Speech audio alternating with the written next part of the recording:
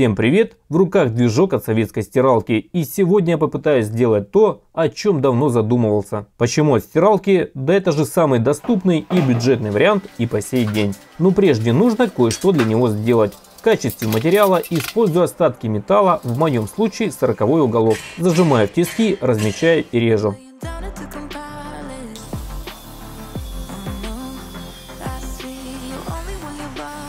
На двух отрезках уголка делаю разметку под корпус двигателя, но полуовалом решаю не вырезать. Предпочтение даю линейной форме из-за простоты работы болгаркой. По паре отверстий в новоиспеченных деталях сверлю в самой узкой части из-за особенностей крепления корпуса двигателя. Две детали готовы и это только самое начало. Нужно было теперь эти детали жестко соединить. Остаток металлической полосы как раз кстати. Из полосы я сделаю пару прямоугольных деталей, чего можно было бы и не делать, имея полосу нужной ширины. Теперь двигатель, который уже заждался, во избежание промахов по посадке и отверстиям, конечно же лучше навесить все составляющие. Откручиваю гайки со стягивающих шпилек и примеряю уголки. По отверстиям все хорошо, все четко, вот с длиной болтов не совсем порядок. Все бы ничего, но шпильку на 5 мм по месту не нашел. Рассверлить не вариант, потому как на уголках отверстия и так уже слишком близко расположены к краям. Головняк на ровном месте, даже прутка на 5 не оказалось в наличии, чтобы сделать удлиненный болт. Недолго думая, принял решение немного поизвращаться, предварительно разметив шпильку. Разрезав обе шпильки чуть выше середины, дополнительно приготовил пару мелких отрезков с каких-то винтов. Теперь мне нужно было сварить, тем самым их удлинить. Для полуавтомата задача непростая, придется прибегнуть к аргонно-дуговой сварке, которая позволяет производить более утонченную работу. В качестве прутка выступит проволока с полуавтомата диаметром 0,8 мм. Сварщик тик аппаратом с меня уровень 80 практики очень мало, потому как варить не особо им и нечего. Да и сам процесс довольно-таки щепетильный и медленный, и поэтому всегда смотрю в сторону полуавтомата. Пока что делаю прихватки, выстраивая стержень полностью. Вроде неплохо, теперь самое главное все это дело заполнить металлом. Сварочной проволокой старался это делать аккуратно, настолько, насколько у меня это получалось. И вот что в итоге получилось. После обработки лепестковым кругом вышла вполне себе такая нормальная шпилька. Попытка номер два и проблема решена. Не хватавшей длины теперь было предостаточно. Зафиксировав уголки и приложив прямоугольные детали, я обвариваю все по кругу. Получилась такая вот платформа под двигатель, но не совсем еще готовая. Пара двадцатых уголков, сделанных из 40 ибо в наличии другого просто нет, послужит дополнением к основанию платформы, лишь только нужно будет их приварить. Деталь готова, приступая к следующей. 40 квадратная труба подлежит разметке и последующей резке болгаркой.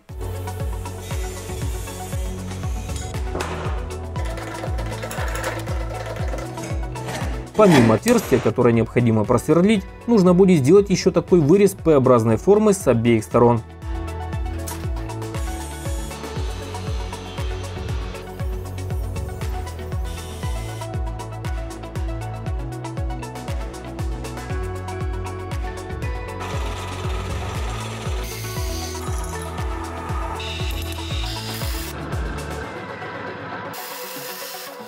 Готово, двигаюсь дальше и опять та же труба 40 на 40. В этом случае все гораздо проще. Мне нужен был просто отрезок от этой трубы.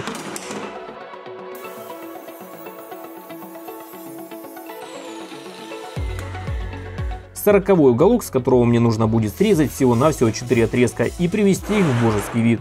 65-й швеллер это то, что у меня не завалялось. Пришлось ехать на металлобазу. Размечаю и режу по одному метру два отрезка. Далее щеткой на болгарке привожу поверхность в надлежащее состояние. Листовой металл четверка, разметка под прямоугольную деталь. Таковых мне понадобится две. При стыковке швеллеров нужно будет выдержать небольшой зазор. Использую обычную бумагу формата А4, сложенную вдвое. После ранее вырезанные две детали из 40 трубы и один остаток выступает в роли проставок. Сверху еще по одному сложенному листу и только потом я прикладываю швеллер. После чего в торце каждой из сторон можно приварить заглушки из 4 мм прямоугольников. Вынимаю проставки и вуаля! Отличный зазор зазор такой как надо. Уголок, который я подготовил чуть ранее, немного подрезал стенки и приварил по краям с обеих сторон. Теперь и эту деталь пока в сторону. Листовой металл в 1 мм. С него мне нужно вырезать всего лишь небольшую полоску. В последний момент за снова решил все-таки взять дюймовую трубу. Но и миллиметровая полоска тоже пригодится. Два колечка из трубы с удаленной частью стенки отлично подходят как корпус для подшипника. Два ушка из полосы, которые все-таки пригодились, приваривая аккуратно тик сваркой. Можно было, конечно, и полуавтоматом, но по возможности стараюсь практиковаться. Чем чаще, тем лучше. Вышли такие вот хомутики. Немного подправлю в тисках и просверлю отверстия под винты.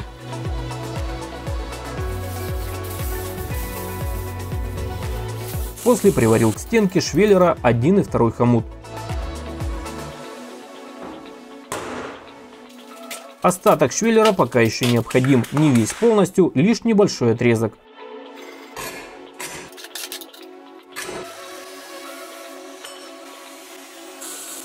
Пластинами из четверки заглушил торцы и разметил расположение отверстий. Деталь готова, продолжаю дальше. Теперь нужно было расположить двигатель на станине. Для правильного его размещения не то что желательно, а необходимо было установить шпильку с гайками на свои места и приварить площадку под двигатель.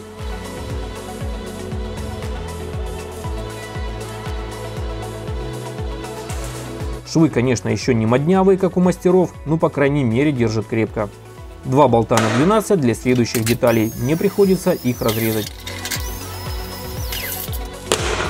Также два отрезка прутка диаметром на 8, подлиннее и совсем короткие.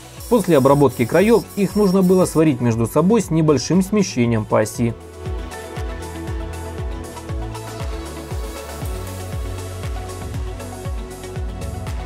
Из шпильки и двух гаек сварил пару рым-болтов. Из листового металла толщиной 6 мм сделал пластину с отверстием и двумя направляющими.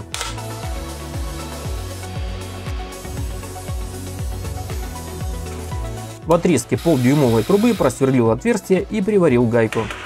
16 кругляк зачищаю и срезаю пару отрезков. В торце одного из них сделал небольшое углубление по форме прилегающей к стенке. Сварил и еще одна деталь готова. Снова 6 миллиметровка. Из нее я вырежу просто пластину с отверстием посередине.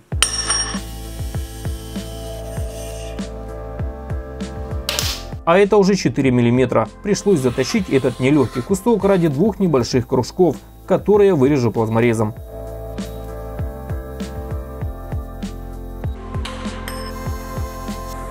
Каждому из них сверлю по отверстию, разница лишь в диаметре. Понятно, что идеально ровно вырезать круги не сложилось. Обработать края доступным способом можно разве что зажав патрон станка болт закрепленным на нем кругом. Болгаркой с лепестковым кругом шлифую вращающуюся деталь. Вышло довольно-таки неплохо, форма близка к идеальной. Еще несколько манипуляций с гайками, в которых я просверлил по сквозному отверстию и пара отрезков прутка, и получились отличные ручки. Теперь приступая к сборке подручника, трубку с гайкой нужно было приварить к коробу.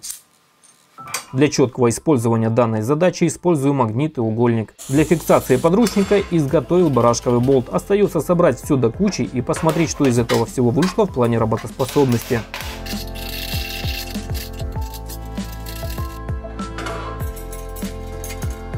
А вот, собственно, и принцип работы эксцентрикового болта. Проворачивая пластину, тянет вверх, прижимая к станине. Сцепление настолько сильное, что подручник с места не сдвинуть. После того, как все основные детали были произведены, приступая к установке передней опоры. Здесь пока нет ничего сложного, можно обойтись угольником для соблюдения четкого угла. К сожалению, в этом проекте не обошлось без токарки, несколько деталей пришлось выточить. Пара деталей точились из куска трубы, которую мне приходилось разрезать и подгонять под необходимый размер, поэтому вы видите эти неровности. Тут все немного сложнее, две детали мне нужно было разместить и приварить строго по одной оси в расположении. В качестве проставок буду использовать 15 уголок. Вариант такой. Фиксирую прихватками два отрезка трубы и после переношу на опоры, приваривая проставки к тем же опорам. Удерживающие пластины, задние опоры выставляю и привариваю. Теперь можно смело приварить сверху две трубы, пока скрепленных вместе, не боясь, что нарушится соосность. И последнее разделение. Аккуратно болгаркой удаляю сварные точки и дело сделано. Также необходимо небольшое прямоугольное отверстие. Там я планирую разместить кнопку включения-выключения.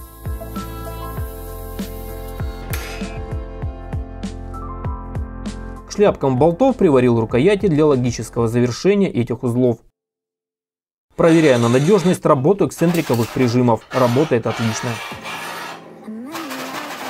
Покрасил все элементы станка и на следующий день приступил к сборке. Решил по традиции использовать два цвета для более яркого внешнего вида. Верхнюю часть станины, конечно же, не красил, замаскировав ее малярным скотчем. Далее аккуратно собираю все детали, стараясь не повредить свежую краску.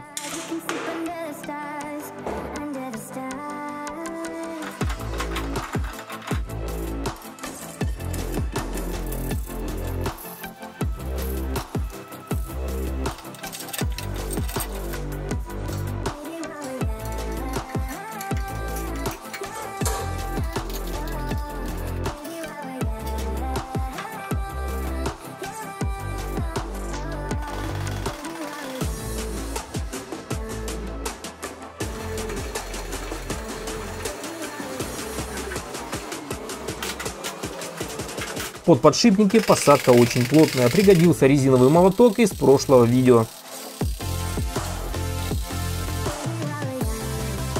Обязательно буду использовать упорный подшипник, предусмотренный под осевую нагрузку. В качестве проставки шайба и следом обычный радиальный подшипник. После гайка и ведущий центр становится на свое место.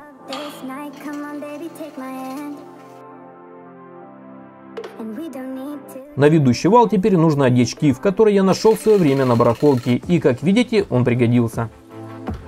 Шкив на двигатель также с барахолки прекрасно садится на переходник к двигателю. Теперь собираю задний упор, пара гаек для надежной фиксации ручки. Следующий этап – сборка внутрянки. Также буду использовать три подшипника, два радиальных и один упорный.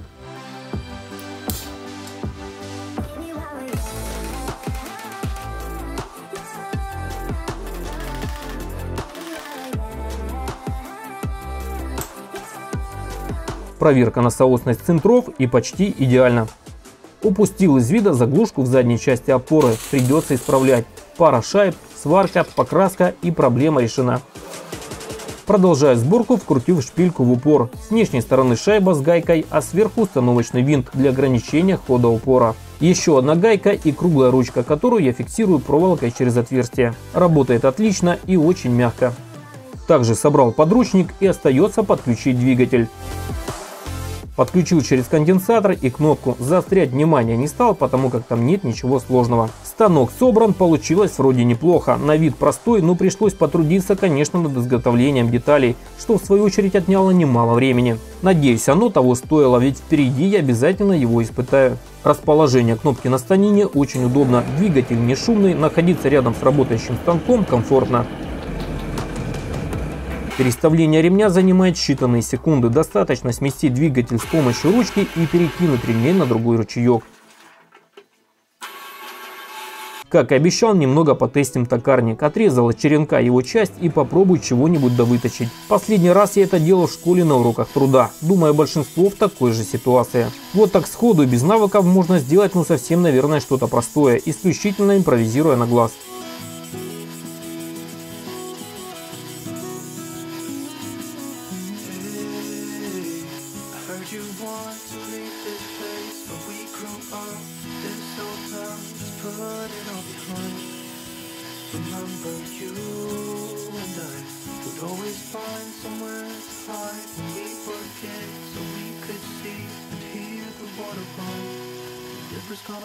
Проволокой с полуавтомата выжигаю кольца для эстетичности, леплю их от фонаря, не вкладывая абсолютно никакую логику.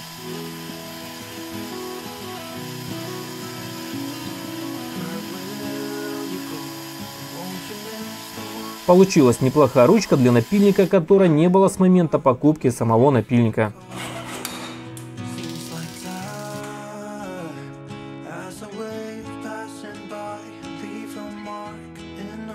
Еще один отрезок и небольшая задумка сделать то, что уже давно никак не сделаю. Размеры также от балды, поэтому сильно не заморачиваюсь. Процесс оказался весьма увлекательным. Время летит в ожидании, что получится в итоге.